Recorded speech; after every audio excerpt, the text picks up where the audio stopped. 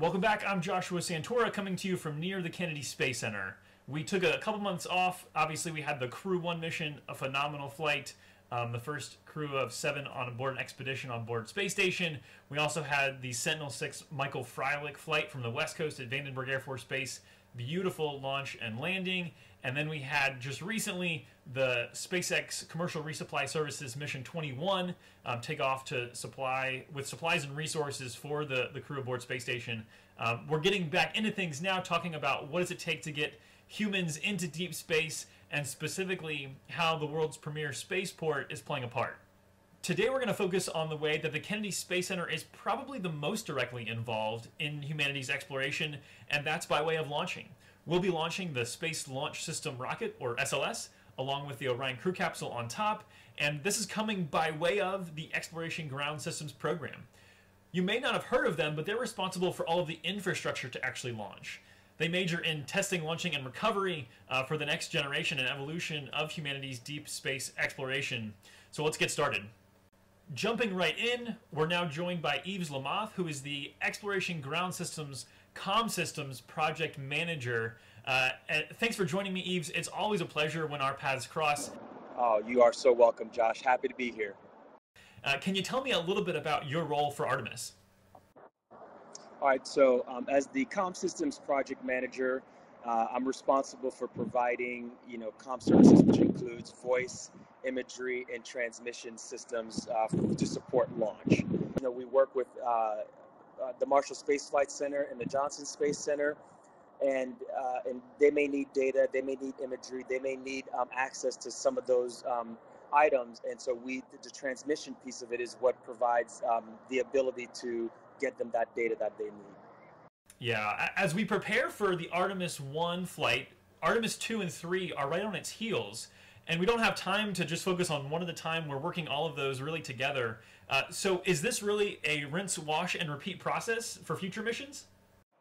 So, uh, you know, in essence, the answer is yes, right? Um, because when you think about the shuttle program, while the missions were different, the process was always pretty much the same. We will learn a lot from Artemis 1, and uh, the things that we learn, we will apply them to the, the follow on missions and it'll give us an opportunity to refine the, process, the processing and launch the vehicle much more efficiently. Yves, tell me why the goal of humans back on the moon is so important right now. You know, um, that that's a really really good question. Why do we do the things that we do? We have this amazing resource um, on the moon with so many knowns and unknowns, and it would almost be a crime if we didn't explore what what the possibilities are on the moon. Now, um, the moon is also a perfect place to establish a base, right, um, or a point of departure to get to Mars. So if we can build a moon base, figure out how to live long term on in space, then that makes it easier for us to head to Mars and figure out how to do the same thing. So um, the moon is sort of like practice uh, for us to, to figure out how to keep how to sustain human presence in in the space environment and the things that we learn from there, we can apply them to our travels to Mars. If you could tell the people of Earth uh, one thing about Artemis, one big takeaway for them, what would that be for you?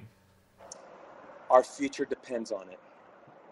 That is that is the one thing that I would leave everyone with. Is it's important, it's uh, valuable. Um, Earth is precious, and it takes it takes a lot to take care of our precious Earth.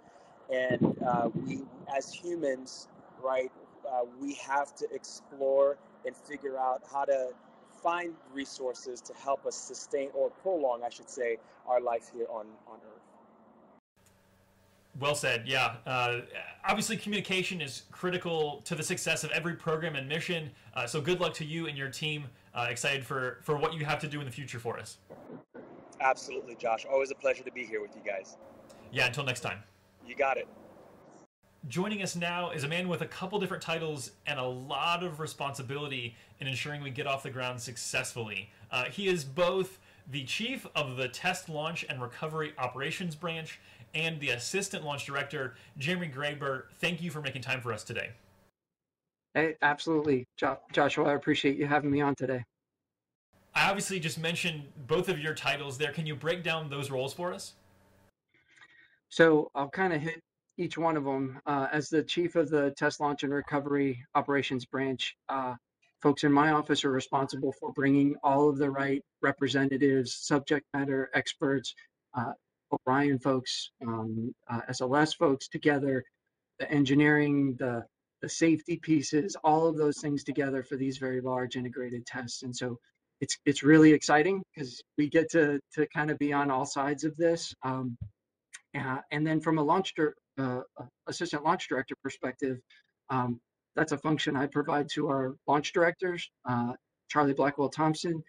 I'm essentially her right hand. Uh, anything she needs, I go off and work. And on launch day, I'll be there sitting next to her, helping her with anything she needs.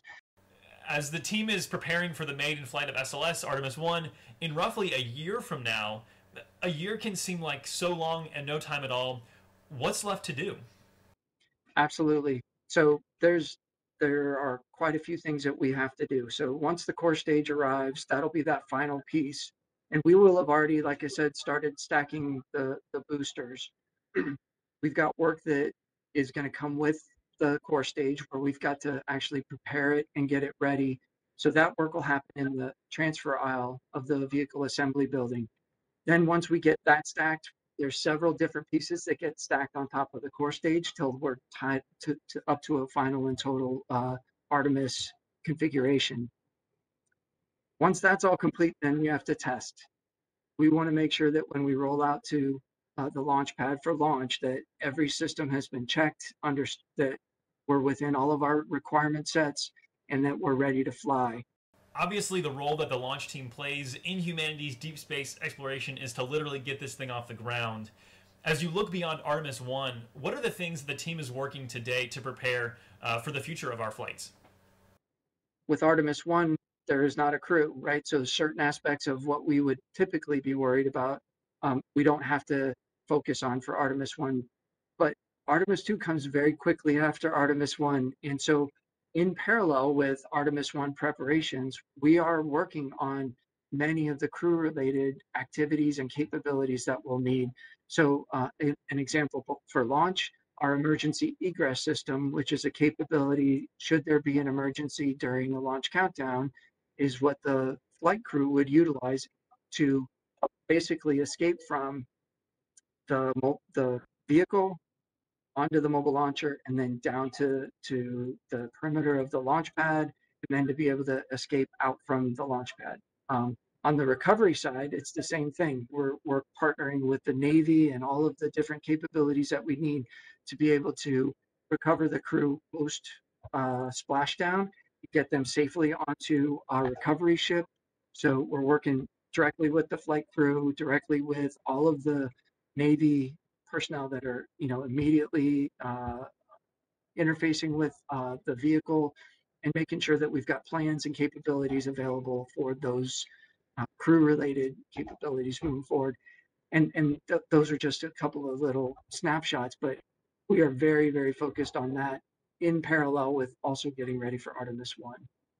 No doubt the tip of the iceberg when it comes to trying to work things in parallel, doing so many things at once. Um, incredibly excited to see this first mission fly and subsequent ones as well. So, good luck to you and the entire team. I know you have a ton of work to do, and we're excited for your success. Thank you so much. Appreciate the time, and thanks for having me. You certainly cannot get humans to deep space without a ride and we are literally in the process of seeing that ride come together with stacking already underway. Uh, join us next time for the last episode in this particular series as we look at how to survive once you get to deep space. Uh, the moon or Mars can seem like a desolate place, but there's a lot of resources there available to us, and we'll cover what that means and how we're making good use of it. That's going to do it for this episode, and remember that even the sky isn't the limit.